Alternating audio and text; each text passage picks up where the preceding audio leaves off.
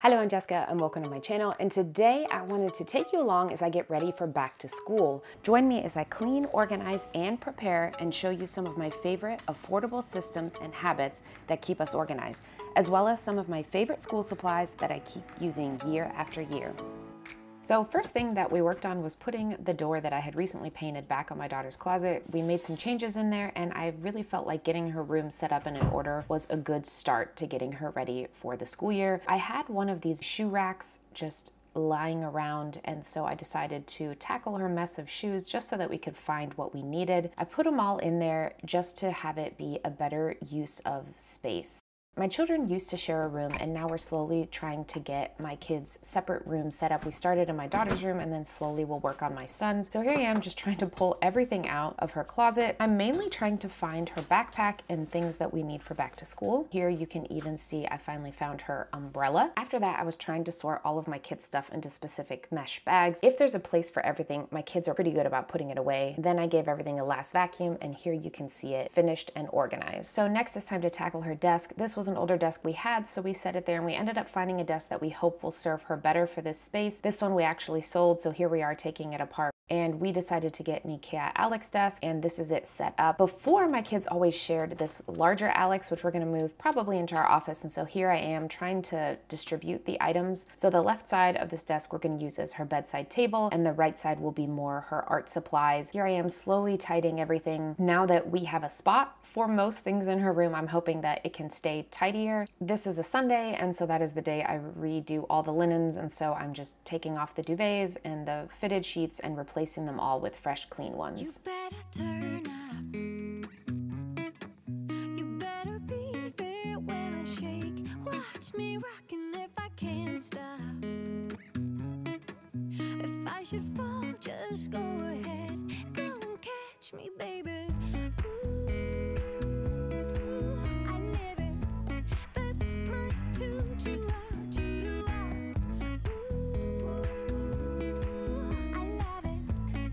Her space tidy for now until we change and get a few more storage items, but hopefully she can keep it tidier now. Then it was time to tackle my son's room and he also does not have a door as you can see.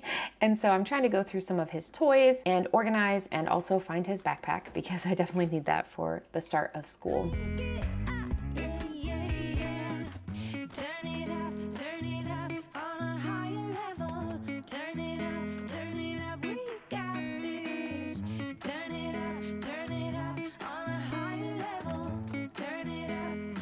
Also finally repainted my son's door. When we first moved into this house, we accidentally put latex paint over oil and it did not go so well. My son also got a new desk and so I organized his side table. And then I just spent time going through all of their art supplies, sharpening them and making sure that they were all still working just so that we could start off fresh. And then I went about tidying my son's room. There were a lot of things that didn't have a spot before, but now that we've updated his desk, we can kind of find homes for things. And then I just went about displaying some of his books because when he sees what he has, he reads them a lot more.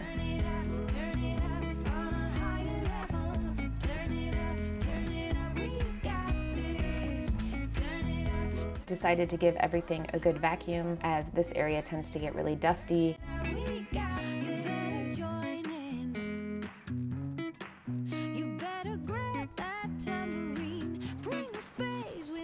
So it was also time to refresh my son's room. Most of our duvets have snaps in them. There's a few that I got recently that I still need to add it to, but I'll link my video on how to add snaps to make the, putting the duvet on easier. In a nutshell, I have snaps in the corners of the duvet cover and then also the duvet itself. So you just put the corresponding snaps and snap them together. And then this will keep the corners in place so that when you turn it right side out, they kind of stay there and it makes it easier to put the duvet cover on. And then I also added snaps on the bottom of some of them. This this duvet actually has a zipper, so I didn't have to add snaps to this one. And that is his room all done. I still have a few other things to update and paint in his room, but it's looking much better for the start of school. At the school my children attend, we wear uniforms, so here I am trying to slowly go through and see what we are still needing or what we've outgrown. I try to buy as many of my uniforms used. Sometimes that doesn't always work that way. I do really like using the Fetch Rewards app because I can get Lands' End gift cards and that's where our school gets a lot of their uniforms from. Right before school starts is the the time I have found that stores will put out their best deals for the year. And then I also went through my son's closet mainly to see which clothes still fit him, but then also to find all the things with holes on them because I need to mend them.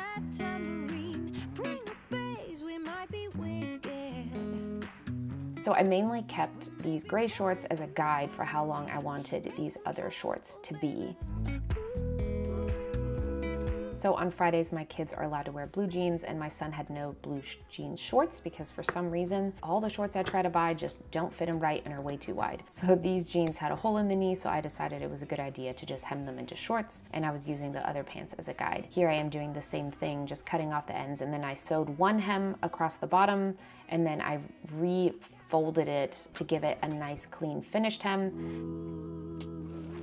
Then it was time to check out shoes if they still fit. We love these New Balance BOA shoes. I think they're called Fuel Core and these lasted a full school year and the summer, but now they're just getting a little bit too tight. So it was time to update. And I try to buy shoes every half size, especially when they're on sale because then I can get them for way cheaper. So I previously bought these Adidas shoes and they're the next half size up. So they fit my daughter much better. So I do feel like the New Balance pair wears better. These Adidas style did not last nearly as well as the New Balance did, but I have have had other pairs of Adidas that last really well. So I think these ones just aren't my favorite and I probably won't buy them again, but they are super cute. So I know my daughter loves them. So this year, my daughter gets to have a locker shelf and I'm not sure if she'll actually need both tiers because I don't know the size of her locker, but this is an adjustable one. So I was trying to figure out how to put it together and take it apart before we actually get there on the day that she can install it into her locker. So I'm just packing this all up, getting it ready to go. We finally completed our summer school work packet that we were given by our teachers and I can link those below. Our school sent out all the different reading lists and math things to practice throughout the summer, and we finally got that all done. So, feeling pretty good about that. My daughter needed to bring one of her summer reading books into class, so I made sure to find that and to put that in her bag as well so we do not forget it on the first day of school. We also got my daughter this capable planner. It's a Jordan Page planner. I thought she would need a planner during the school year. It could be that we will save this for next year because I think this year the teachers give their own planner pages weekly, but I do think it's super cute and I hope we'll get to use it soon. Next, it was time to tackle my homework drawer. This pretty much holds all of the school supplies when we are doing homework in the kitchen. My children tend to sit at the island while they do their homework, and if we need something, I don't want to have to run to a different room to get the stuff. And it also kind of holds the permission forms and all of the things that normally end up on my desk or on just counters, and so this is our catch-all. So I decided it was time to get rid of the things from last year that we don't need and kind of reorganize it. I do keep a few extra school supplies in case we need it throughout the year, and then it was also time to just double check if we needed any type of school supplies. At our school, the teachers actually buy the supplies and it's just part of tuition, so I did not have to do that this year, which was very nice, I'm not gonna lie. This is our quasi mudroom and you can see my lovely Ikea bag that I use for summer. We started out with three M hooks and then upgraded to these nice folding hooks. They don't sell these anymore, these are from Ikea, but I can link a similar version from Amazon. Our ballet bag goes on there and then just both of the backpacks. And this way everyone everyone knows where it goes and it keeps our house a little bit tidier. So these are our Ergo backpacks. I love them dearly. We use them year after year. They're definitely um, an expensive backpack, but they have a structured support and you can even adjust them as the child grows. So here I am taking everything out of them just so that I can wash them. And so here I am using my favorite Gall soap is what it's called. And so this one has a little scrubby. This is one I brought from Germany, but I found one on Amazon that is purchasable. So I did link it down below. But because we use these backpacks year after year, I definitely needed to give them them a good cleaning. They're made out of recycled bottles. I'm not sure if you can still buy them here, but you might be able to buy them online from a different store. I'll see if I can find some. I think the company tried to kind of market them in the US during 2020 and that just didn't go that well, but I was very pleased that I was able to get some before they stopped selling them. So here I am putting them in the washing machine on delicate and on cold and giving it an extra rinse cycle just to really clean it. And then it was time to take them out and I decided to just let them drip dry in our shower because that is kind of the best way. And they actually dried within a day, which kind of shocked me. But everything came out very clean and I was very happy with it. Inside, they have one little compartment, but then they also have this kind of extra compartment that you can put in. We use bigger binders, but in Europe, a lot of the schools we use really thin notebooks. And so for us, we just take it out and don't need it. I always have an air tag in my kid's backpack. And then this is the rain cover that kind of fits in the top. And here I am showing how it can be on while the kids are wearing it, which has really come in handy. Next, I'm just putting our name tags on the backpacks. We got some new ones this year, and I also love their magnetic closure. That is super nice. It was now time to tackle my lunch drawer. I have a ungodly amount of these thermal flask water bottles. You can get them really affordably at Target, and we always keep a cutting board in the drawer for the kids if they need to cut their own stuff. And I use Planet Box lunch boxes. I really like them. Some people don't like them because they don't have a actual gasket on them, but they have small containers that fit inside for them. Last year's bag did get some rips and holes in them, and I wasn't thrilled about that because these bags didn't last as long as I had hoped. But since I don't have to rebuy any other things, it's okay. We also keep this built bag for either the kids if they want to do thermoses and differently shaped items than the Planet Box, or I use it on field trips. And here I am just taking out the rest of our lunch accessories. I really needed to give this drawer a good vacuum. I have these non-slip liners from Ikea and these were my leftover ones, which is why there's so many pieces. Normally you would just do one long one, but it's enough to work for this drawer. Now that this drawer is all clean, it is time to go through all of my other accessories. I have some of these Orbit labels that I have been using for over nine years now, and they work really well, but you can see in the dishwasher over time, they can kind of discolor your water bottle. For me, it doesn't really matter, but just so you know. And here I am just trying to sort out all of the fantasy self items and the items that I haven't been using as much and to really just give everything a really good deep clean before I put it back and to make sure that what I'm keeping is actually gonna be used. So now time to put it all back in. This lunch drawer system has been working really well for us. I just bought these two dividers from Ikea and added it to my existing drawer.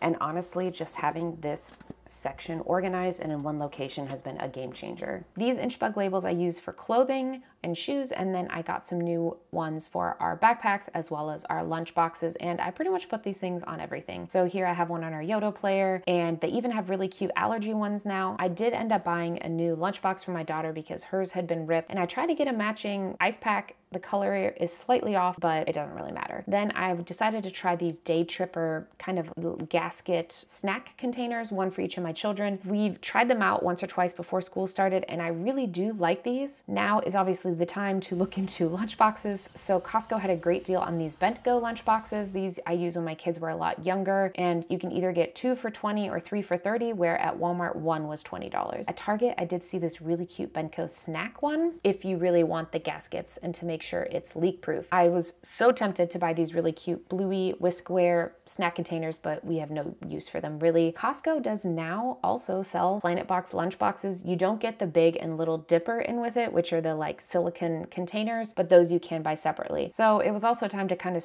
take stock of what we had at home. I should take time to organize it, but it's just not happening right now. So I was trying to look at some of the different sale items. We did decide to splurge on these Z-bars because they were on sale and we weren't really a fan again, but that's okay. If you don't bake your own bread, you can't beat Costco's price on Nature's Own, and Walmart even sells an off brand of Uncrustables. I definitely buy some prepackaged snacks, but I definitely try to make our own as much as possible, especially to use up certain ingredients. This is a chocolate cake recipe that I grew up making. It's really simple and doesn't actually call for eggs in it, and you can make it dairy free if you want to as well. So I can definitely link that recipe below if anybody wants it. It was my favorite recipe to make as a kid, and because because it kind of makes a little firm crust on top, it doesn't need any form of icing or sprinkles, and it is a super fluffy, yummy cake when you're done. I love these silicone trays. I got them last year and I use them so much more than I thought, and I like how easy they are to clean, especially because you can just wash them in the dishwasher and they come out perfect every time. This was also our time to go over sight words, just making sure that we still remembered everything that we had been taught at the end of last year. I think bedtimes is one of the hardest things to adjust before a new school year. So we try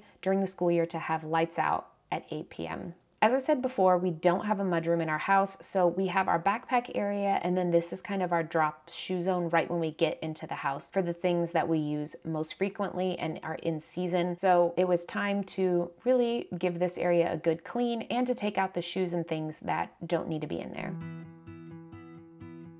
So this is the top one where my shoes go and even that was pretty dirty. So I decided to vacuum it out first and then the kids looked even worse, which is not surprising. So just vacuuming it all out.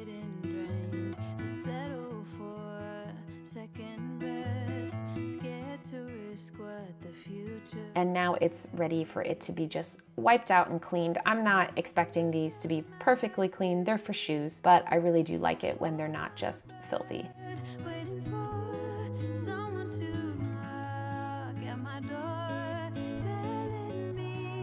The top of this is kind of my drop zone, so anything I need to take with me when I'm going to run an errand or put back in one of the vehicles, I tend to lay there so that I always see it when I'm leaving.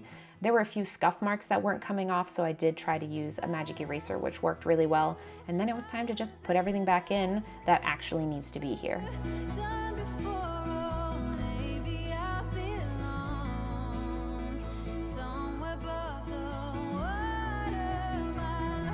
So I don't love how cluttered this top part still is, but they're just things that need to go in certain areas and I needed to remember to take them back. So looking much better and cleaner and this tiny little cabinet makes such a big difference for us staying organized. So every Sunday I sit down and meal plan for the week. I try to go through my freezer, fridge, and pantry to see what I have to use up those ingredients in my meal plans first. But if I know I have some crazy days coming up, I will even plan in a frozen pizza from Costco, especially when they're on sale, just to keep everything moving smoothly and it just keeps us on track and in budget. The next thing I did was start going through our school's calendar to kind of write in for the year some of the bigger things that are happening so that nothing falls through the cracks. And this is the Jordan Page planner that I have made digital. It is her planner. I just bought the digital version and I actually have a video on how I did that. So if you're interested in that, I will link that as well. So now that summer is almost over, I decided it was time to also adjust my wake up time. So I decided to change my alarm to when we normally try to wake up during the school year. And then it was also time to really go through a lot of my alarms. I have a few from the summer that I don't need anymore. And I had way too many that were just sitting on my phone that I haven't used in years probably. So I took those off and then I added my pickup alarm, which is huge because then I will not forget to pick up my children at the right time. Back to school haircuts is a big thing. My daughter just needs a trim here and there, but I like to keep my son's hair pretty short. So I bought these clippers about 12 years ago and they're still going strong. I am not great at cutting hair, but it definitely saves us a lot of money and I try my best to learn how to cut hair better. I also cut my husband's hair, but my son's is a lot easier to cut for sure. I prefer to have a tidy vehicle, and so most of the time we're pretty good about taking everything out. But as you can see toward the end of this year, there have been a lot of extra things that have been left in it. So I decided it was time to vacuum it out. I normally go to a car wash and we'll just use their vacuums, but I just didn't have time and the kids didn't want to go with me. So I just decided to vacuum it out at home with our shop vac. Luckily, there's not that much junk in there, so it was just trying to clean up all the crevices and everything. I always keep two extra booster seats in my van just in case we need to bring someone with us that we weren't planning on, which has really come in handy multiple times.